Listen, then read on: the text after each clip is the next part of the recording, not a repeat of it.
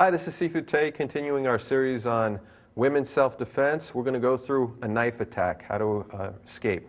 Someone grabs you like this and they hold a knife against your throat. Notice the first thing she's doing is raising her arms up.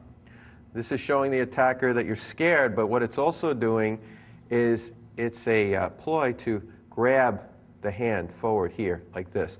You can grab, drop down into the horse stance, okay, and come into the knees, elbows, and strike. Again, so I grab here, first thing she does is hands up, brings the hand closer, pulls it forward.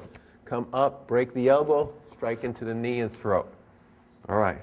Again, slow motion, arms up, close to the knife, grabs the knife, pulls the knife hand, come in with the knee, strike behind the leg, and into the throat. All right, now, full speed. Good. Okay? Again, try and react right away if someone has a knife. So don't let them tighten the grip. Right. Because if someone tightens the grip, they'll keep pulling this tighter and tighter and tighter. The second this happens, you react right away.